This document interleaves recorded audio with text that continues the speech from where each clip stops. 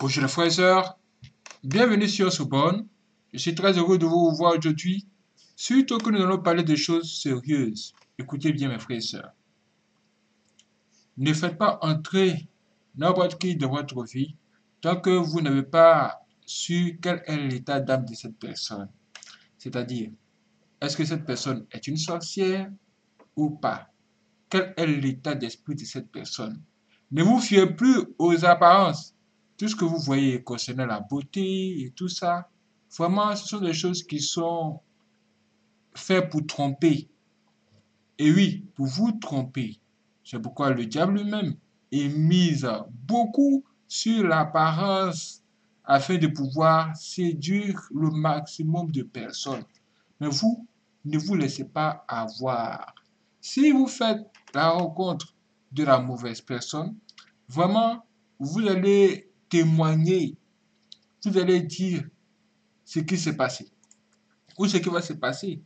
Parce qu'une mauvaise personne dans votre vie, ça ne vient pas pour vous arranger, ça vient pour vous mettre de partout de la roue. En un mot, vous détruire. Écoutez, s'il le savait, il ne rencontrerait jamais cette femme. Ça, c'est pire que la sorcellerie.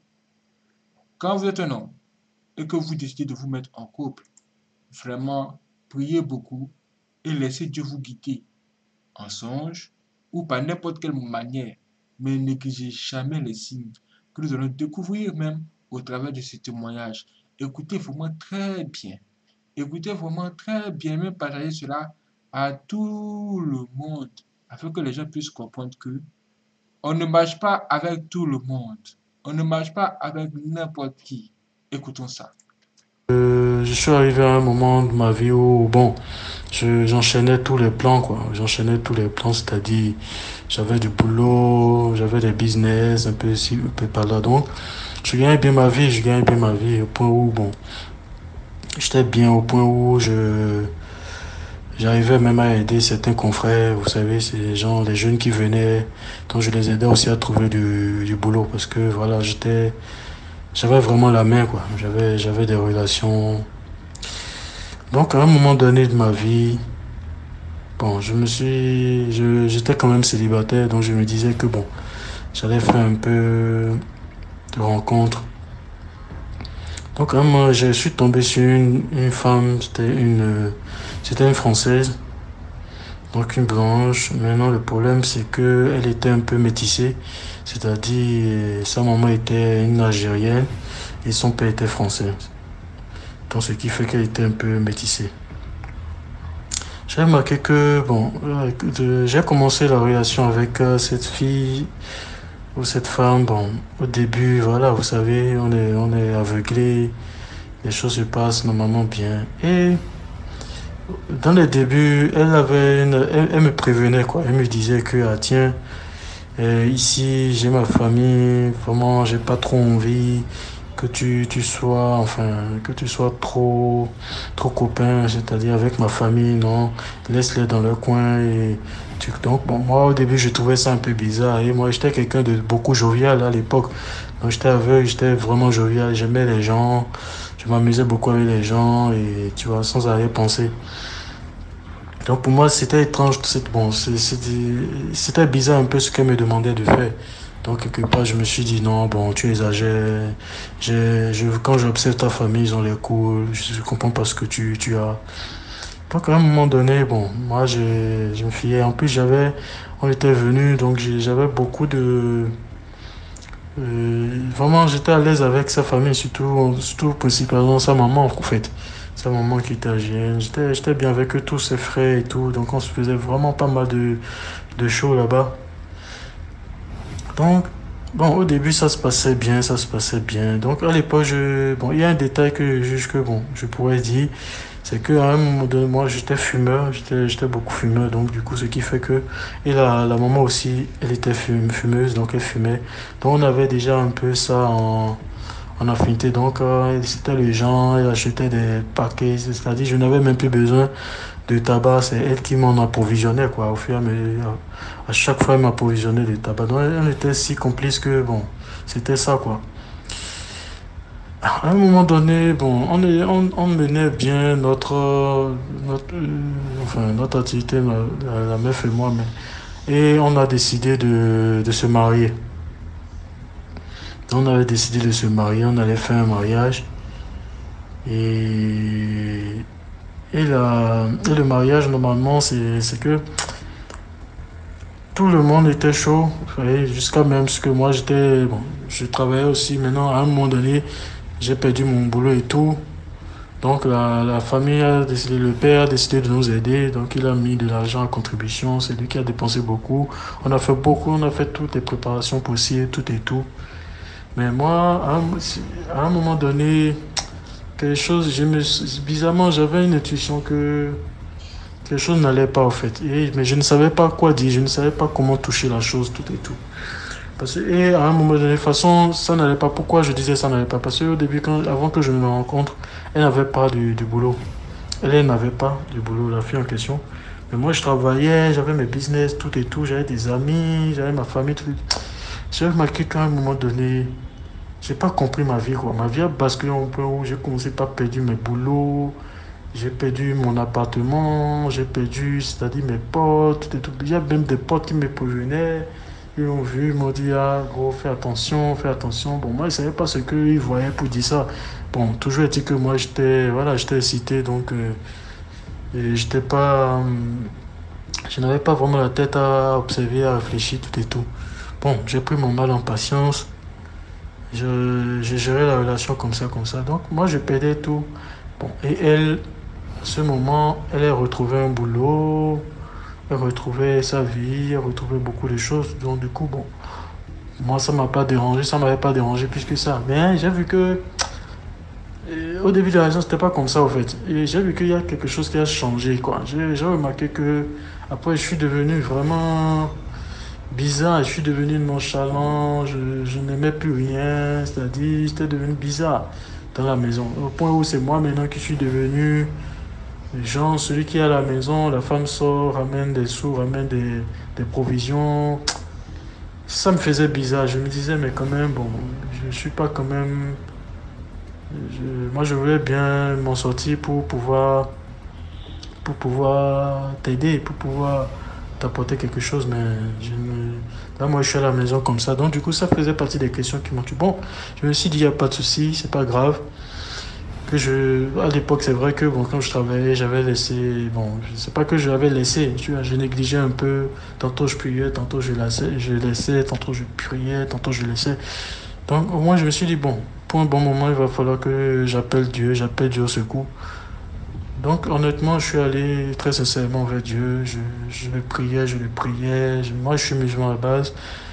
Donc je, je lisais beaucoup le Coran. J'ai commencé par, bon, à force de lire le Coran, à force de prier, prier, prier, j'ai commencé par faire des songes en fait. J'ai commencé par faire des songes bizarres. J'ai des songes qui ont commencé par me, par me venir à plusieurs reprises quoi. C'est-à-dire, il y a des songes comme quoi, par exemple, on te, on t'envoie des serpents te mordre il y a des songes quand tu vois, tu vois des vieilles personnes coucher avec toi, tu vois des, tu vois une, vieille dame venir. Il y a des songes bizarres, bizarres, bizarres, des songes où je vois les gens sont en colère contre moi. C'était bizarre quoi. Et à un moment donné, bon, moi je me suis dit, si c'est ça, il va falloir que je loin. Parce qu'en temps, la famille était trop, trop, trop, trop chez nous quoi. On avait notre maison à pas 7, mais ils venaient trop, ils nous envahissaient déjà trop. Donc, à un moment donné, moi, j'ai demandé à la fille de, de, faire en sorte que, bon, tu vois, qu'on calme un peu le jeu, que, chacun reste un peu chez, chez, lui, quoi, tout et tout. Donc, il n'y a pas de problème, on a accepté ça comme ça. À un moment donné, j'ai pas compris quelque chose, il y a quelque chose qui s'est passé. Quand on a fait ça, bon, j'ai commencé par voir. La maman devenait bizarre, en fait. Elle devenait bizarre de bizarre. Et il y a un détail que j'oubliais, c'est-à-dire dans la maison, à un moment que je priais, j'ai commencé par voir qu'il y a certaines choses qui n'étaient pas nettes dans, dans la maison en fait. Par exemple, dans le jardin, dans les pots de fleurs, j'ai comme l'impression on enterrait des choses dans ces choses-là, quoi. On, enterrait des choses là. Un jour, bon, ma curiosité m'a je sais pas pourquoi à chaque fois, il y avait une plante là qui était là et ma curiosité m'amenait toujours là. Mon intuition m'amène toujours, toujours vers cette plante là. Bon, un jour, je, je suis décidé de déterrer la plante. J'ai déterré ça, j'ai vraiment brisé ça, j'ai cassé ça, tout et tout. Le jour où j'ai fait ça, j'ai pas compris comment. J'ai pas compris, mais quelques, quelques temps après, ça n'a même pas duré. Quelques temps après, j'ai vu la maman venir en, su, en sursaut, quoi. Ah! Et je, elle a vu que quelque chose s'est passé. Elle a vu que. Ah, elle a demandé qui a déterré la ici. J'ai dit ah. Et je crois que ma, ma femme à l'époque lui avait dit, mon lui avait dit Ah, tiens, ah, il faut que c'est Marzo, que tout et tout, il était en train d'arranger, de faire un peu de jardinage. Donc il a, il essayé d'enlever certains trucs. Et du coup, ils étaient, elles tout et tout. Même ma copine, je l'ai méconnue à, à cette époque. J'ai dit, mais qu'est-ce qui se passe ici? Ils étaient fâchés, dire, hein? Après, pas de souci, je laisse tomber. Il y a encore un autre, une autre. Ça, c'était dans le jardin. Il y a un autre preuve carrément dans, la, dans le salon. Parce que tout était déjà là avant que je n'arrive. Donc, elle avait déjà sa maison, tout et tout. Donc, moi, je suis juste arrivé en tant que, voilà, son parce que j'ai dû abandonner tout, moi, dans ma ville, pour venir dans sa ville. Moi, j'arrive là-bas, dans le pot de fleurs aussi. Bon, quelque chose me dit un jour de déterrer, c'est qu'il milieu de pisser de pisser dedans et de mettre là, de sortir le pot de fleurs au dehors quoi. Parce que j'ai comme l'impression ces pots de fleurs dégageaient une certaine énergie quoi. Une énergie dans, dans la maison en fait. Et cette énergie, j'ai comme l'impression ça ne faisait pas circuler une bonne énergie quoi. Donc j'ai dû faire ce, truc. Et en, même, elle, et en même temps aussi, elle est venue. Quand elle est venue comme ça, elle a, son regard n'était même pas branché sur quelqu'un, c'était branché sur le niveau de de la fleur. Elle dit, mais qui a bougé ça, qui a sorti ça, tout et tout, mais qu'est-ce qui se passe du tout, mais? Donc elle ne pouvait, on sentait qu'elle ne pouvait pas trop parler parce qu'elle savait très bien que c'était chez elle, que bon, c'est nous qui faisons ce qu'on que nous voulons chez nous. Donc elle ne pouvait pas parler, mais on sentait que ça la, ça la faisait mal, ça la michait beaucoup. Bon, ça aussi s'est passé. Donc, et c'est là, j'ai comme l'impression, depuis le, le moment là, j'ai commencé par tirer la foudre de, de, de la maman, en fait, de, de, de ma belle-mère, de mon ex-belle-mère, en fait. Et un jour, on était en train de mener une discussion avec euh, la, la, fille en question sur la table. Bon, si la fille, à un moment donné, bon, je ne sais pas hein, comment ça se passait. Moi, je ne l'ai jamais invitée à ce qu'elle prie avec moi. Mais à un moment donné, elle a commencé par s'intéresser beaucoup à la religion. Je ne sais pas ce qui ce qui faisait, elle a beaucoup s'intéresser à la religion. Comme ça, ce mec s'est levé, elle a commencé par se couvrir la tête, genre se couvrir les cheveux avec des trucs. Donc elle devenait elle aussi bizarre. Moi, je lui ai rien demandé du tout. C'est elle qui a commencé par faire ces choses-là. Elle commençait par, par lire des choses, elle commençait par apprendre des choses par rapport à l'islam, des trucs du genre. Donc j'ai vu que petit à petit, elle venait, venait, donc elle me posait des questions, elle me disait de pardon, de, de lui expliquer certaines choses, de lui apprendre à faire certaines choses, qu'elle veut bien, tout et tout. Donc moi, je l'aidais, tout et tout. Et à un moment donné, ça encore, ça a enragé la maman. Et la maman, là, carrément, elle était venue un jour avec sa soeur, avec ma belle-soeur et tout. Donc on était là autour d'un café. Quand on a mené une, discussion, donc elle, était là, elle était en train d'insulter les femmes qui se voient, les tout du genre. Après, moi, j'ai pas voulu trop intervenir, tout et tout, j'ai pas voulu beaucoup parler. Donc, mais elle a compris que moi j'étais musulman et que j'allais forcément faire un mariage à, la, à la musulmane, tout et tout, à la religion, tout et tout. Donc, elle a, elle a vu ça, elle a dit que, ah, ben, que ouais, s'il faut faire ça, il n'y a pas de problème, tout et tout, mais que ça doit se passer ici à la maison que sa femme, que la, la, femme ne doit jamais aller à la mosquée, elle ne va pas aller à la mosquée, tout et tout. Il dit, mais comment ça ne va pas aller à la mosquée? Il y a une mosquée quand même là, qui n'est pas loin de chez nous, on peut aller le faire là-bas. Elle a dit non, non, donc, à un moment donné, je disais non et tout et tout. Donc, elle m'a regardé dans les yeux, vraiment, j'ai eu froid. Eu froid dans le corps, je me suis dit, mais tiens, tiens, c'est quoi ce regard-là? Il m'a regardé dans les yeux clairement, il m'a dit, écoute, c'est ma fille. Hein c'est ma fille, hein, tu cherches pas, tu viens pas ici pour venir embrigader notre enfant. Ah, le jour elle a sorti ça de la bouche carrément, moi je lui ai dit, ok, il n'y a pas de souci, je me suis tué. Donc depuis, je me suis plus mêlé des trucs de la fille. Donc, donc ça fait que c'était devenu bizarre, en fait, la relation. C'était devenu bizarre parce qu'on ne s'entendait plus. La maman aussi a commencé à penser à distance. Donc nous, on menait bien notre vie. J'ai vu que, et à un moment donné, bon, la femme, est encore tombée enceinte. Elle est tombée enceinte. Bon, moi, de toute façon, moi, je sentais qu'il y a des trucs pas lourds, il y a des trucs vraiment bizarres qui se passaient dans, dans la maison. Moi, j'ai dit à la fille, pardon, ne dis rien à ton moment encore. Attends au moins que la grossesse arrive jusqu'à au moins 5-6 mois avant de, de la tenir informée. Elle a dit ok. Mais ça n'a même pas fait trois jours après qu'on qu'on allait faire le test et que c'était positif. Ça pas eu trois jours après. Déjà, elle est passée par derrière, elle allait avertir la maman. Moi, je sais pas comment ils ont fait. Le lendemain, le jour, elle a averti la maman. Le lendemain, elle a commencé par. Elle a commencé par. Euh, elle a perdu ça, quoi. Elle a, elle a une fausse couche, je crois. Et puis. Et puis, on est encore allé refaire les tests. On a vu que. Parce qu'il y a quelque chose qui se passait. C'était anormal, quoi. On, on s'est dit que non, on va aller revoir. Donc, il m'a dit. Ah, Qu'elle a quand même pas coulé du sang, voilà. Et je me suis dit, ah, mais tiens, qu'est-ce qui se passait Il me dit, ah non, qu'elle ne comprend pas du tout. Je dit, mais comment ça, tu ne comprends pas? On est allé vérifier, on a dit que non, qu'elle a une fausse couche et tout. Les gens ont dit, ah, comment elle va avoir une fausse couche comme ça, tout et tout? Bon, moi, ça m'a pas trop emballé que ça. Mais après, elle n'a pas voulu me dire la vérité. Donc, à un moment donné, je lui ai dit, on était à, un- à une fête là chez elle, et une fête du côté de, de- d'une de ses tantes. On était à une fête. Et j'ai comme l'impression, un jour, on a monté le sujet. Et on a monté un sujet comme quoi à, euh, affaire de bébé. Et c'est là, ça n'a étonné personne au fait. Donc on a monté affaire de bébé, ils ont dit que ah oui, que Anneli, elle a perdu son, euh, son truc, euh, son bébé. Donc je me suis dit, tiens, tiens, donc ils, ils- étaient au courant en fait.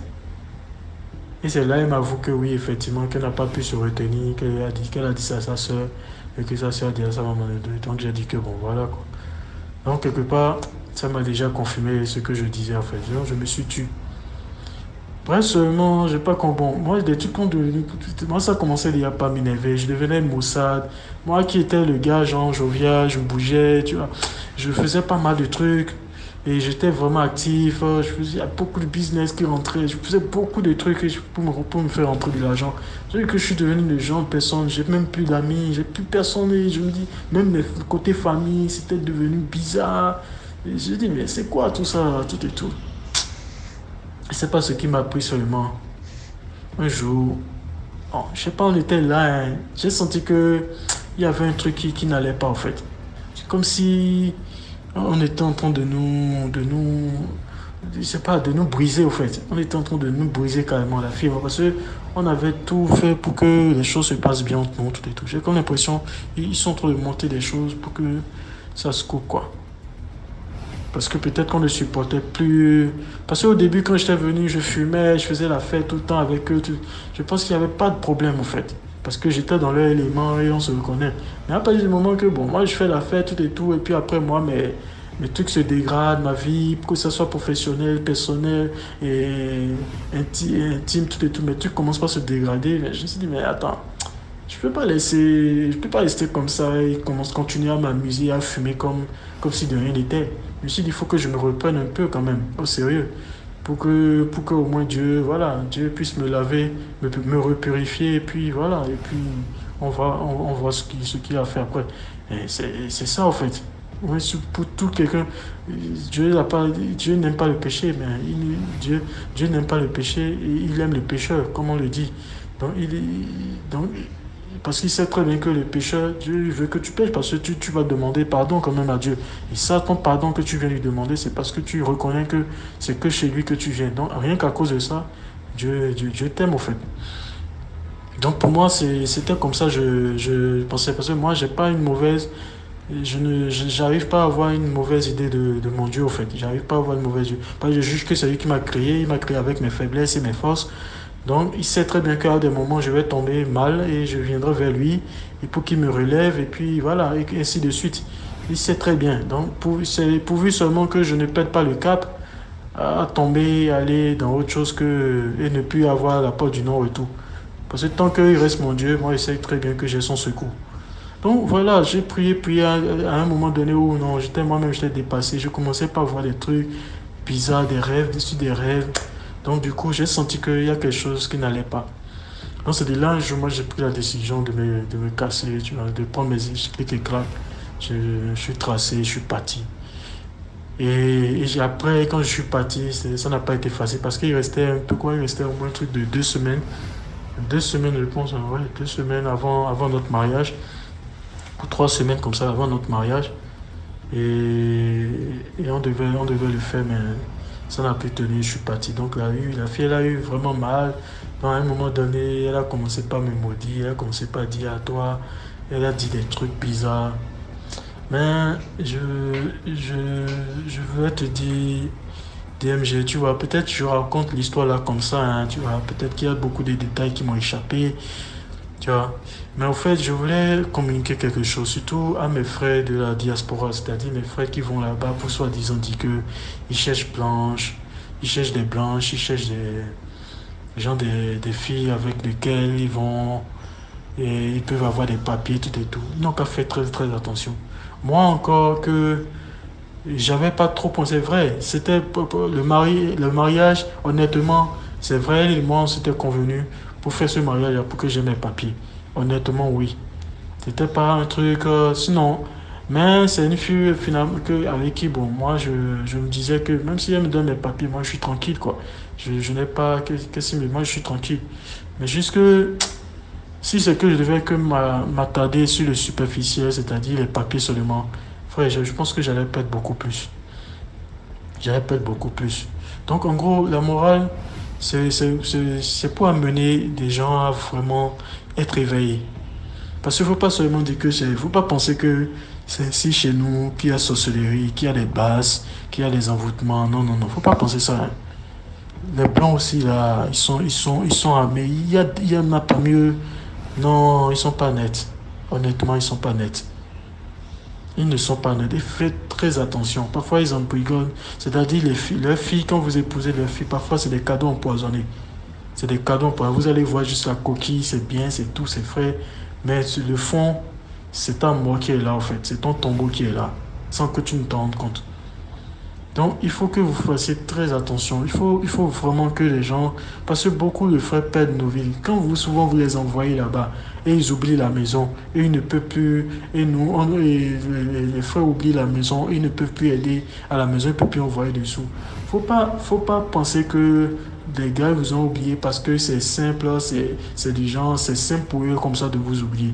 Parfois, c'est des envoûtements. Parfois, les belles mères sont là, elles savent très bien ce qui attend. Elle bien que si l'enfant pèse, mais si l'enfant est truc là, c'est pour sa famille. Il va commencer par envoyer juste à ce qu'il va embobiner ma fille pour rentrer au bled. Il y a certains, ils ne sont pas d'accord. Elles ne sont pas d'accord, mais le problème, elles ne sont pas d'accord, elles ne vont jamais vous le montrer. Elles vont agir juste en coulisses. Elles vont vous passer, vous mettre des trucs, elles vont vous faire des, des, des choses cheloues au point où vous n'allez même pas vous rendre compte de moi j'ai il n'y a pas que moi mon expérience qui passe. J'ai beaucoup d'expériences pareilles. J'ai beaucoup de gens j'ai beaucoup des amis à moi des, cousins aussi qui sont tous en France même qui sont jusqu'à aujourd'hui encore en France qui sont dedans. Ils sont enfermés dans la maison là. Ils ne peuvent rien. Mais ils vont envoyer des photos aux gens. Bon c'est eux c'est eux qui sont arrivés en France qui font la vie. Non non non, non.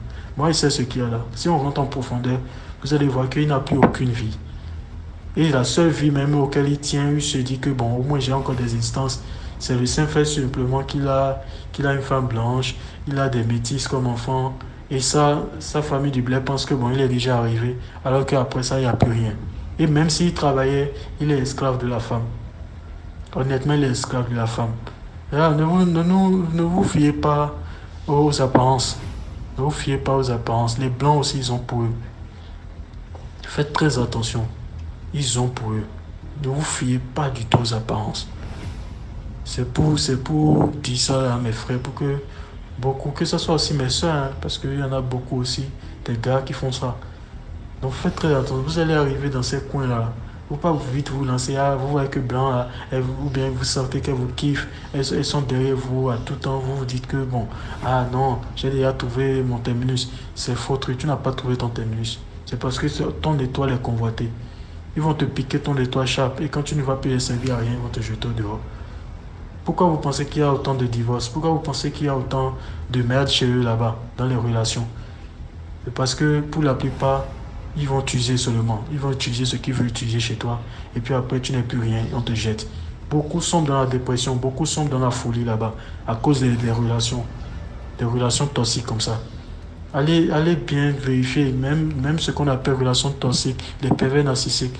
écoutez bien les notions comme ça. Vous allez voir que la sorcellerie, là, c'est pas seulement ici en Afrique. En Afrique, c'est vrai, on a pour nous, parfois on traite avec des psychopathes, on ne s'en rend même pas compte.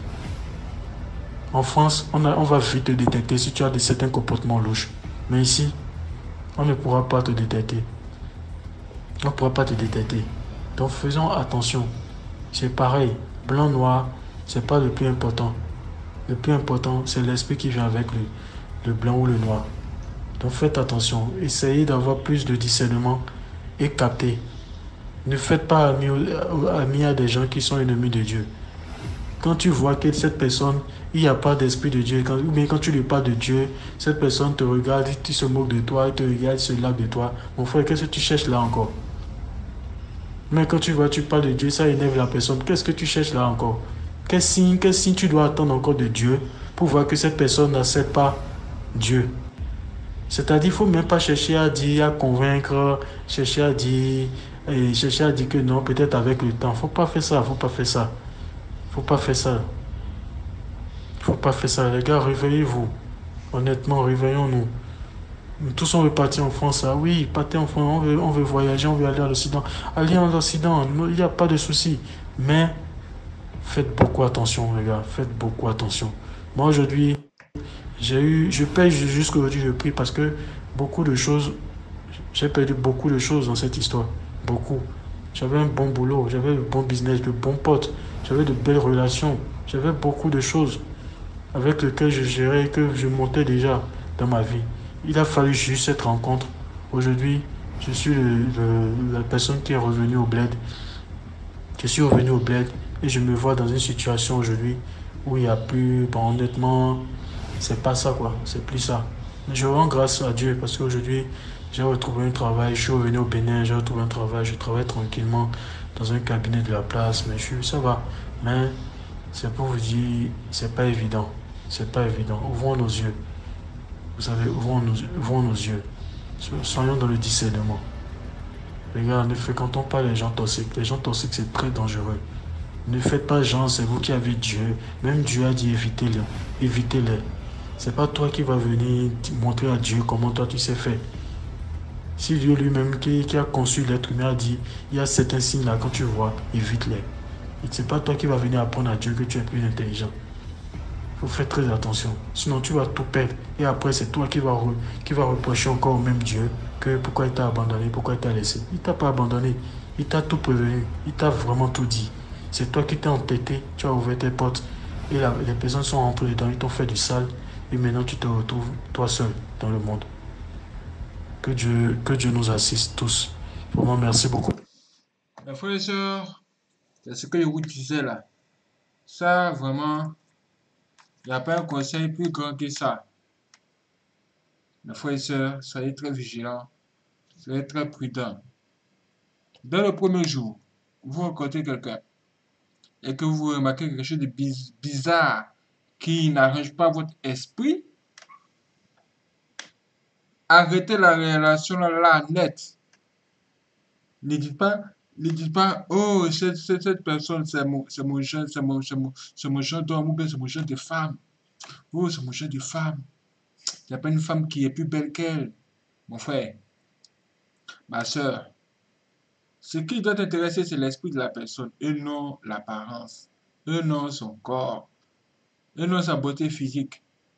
Si cette personne a un mauvais esprit, peu importe ce que vous allez voir sur sa beauté physique, ça ne va rien changer. Cette personne ne sera que là pour vous détruire. Elle va même utiliser sa beauté, mais pour bien vous détruire. Plus vous regardez sa beauté, plus vous négligez toutes les mauvaises actions de cette personne. Et elle, elle ne ferait que vous détruire en part. Faites vraiment très attention. Ce monde n'est pas celui que vous croyez. Nous sommes vraiment en guerre. Et les gens sont devenus très méchants. Les gens sont devenus très très méchants. Le diable envoie ses sorcières, les envoyés du diable, qui sont remplis dehors pour vous mettre les problèmes.